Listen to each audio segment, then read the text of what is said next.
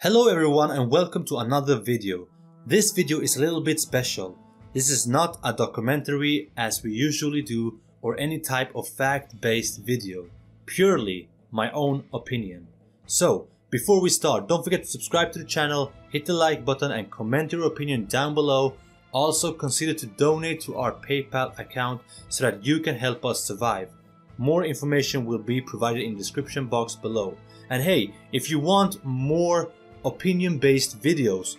Hit the like button, make sure that you tell us which opinion you want us to share with you guys and we will for sure listen to our followers and do as you say. Now, without further ado, let's get into the video.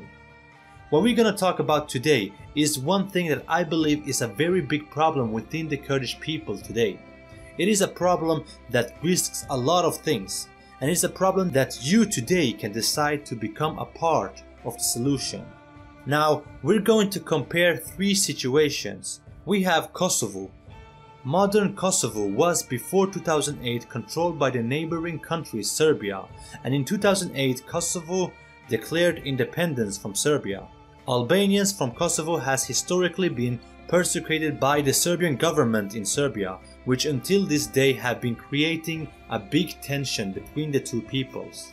In our second situation, we have Israel and Palestine. This conflict has been ongoing for a long time where the Israeli authorities and Palestinian insurgency groups are in a long going war about land and power in the area. In this situation, Israel has the upper hand as they are officially independent, controlling the area which they both claim and fight for. Now, our third situation, the Kurdish one, we have an area known as Kurdistan occupied by four different countries Turkey, Iran, Iraq and Syria. The Kurdish people has historically been fighting for their independence and has throughout the years been persecuted and harassed for their struggle. There is over 45 million Kurds in all of Kurdistan and the Kurdish people are unlike the two other situations divided between several other countries.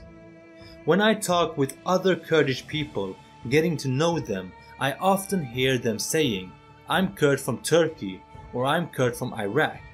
And this bothers me a little bit. Let me ask everyone watching this video, have you ever heard any Albanian individual say, I'm Albanian from Serbia? Or any Palestinian guy saying, I'm Palestinian from Israel? I don't know about you, but I have never heard that before. So to my point, Stop saying Kurds from Iran, Kurds from Syria, Kurds from Iraq and Kurds from Turkey. Stop right away normalizing these countries as your home country because you are participating in fading away Kurdistan. Now you might ask how else are we going to describe which part of Kurdistan we are from? Few people actually understands the terms Bakur, Bashur, Rojava and Rojhelat. But hey, I got two solutions for you. The first is spread the words about our parts. Learn those who doesn't know that Bakur stands for Turkish occupied Kurdistan, Bashur stands for Iraqi occupied Kurdistan, Rojava stands for Syrian occupied Kurdistan, and Rojhelat stands for Iranian occupied Kurdistan. The second choice is skip saying I'm Kurd from Turkey or I'm Kurd from Iranian Kurdistan or Syrian Kurdistan because it's not Syrian Kurdistan, it's not Iranian Kurdistan, it's not Iraqi or Turkish Kurdistan. Start saying, for example, I'm Kurd from Turkish occupied Kurdistan. Because then you are not normalizing the occupation, you are highlighting it as a problem. By saying I'm from Syrian occupied Kurdistan, you are pointing out that Kurdistan is occupied by, for example, Syria, and you are not normalizing the occupation. For those who have seen my videos on this channel, I always say Turkish occupied Kurdistan, Iraqi occupied Kurdistan, Syrian occupied Kurdistan, or Iranian occupied Kurdistan.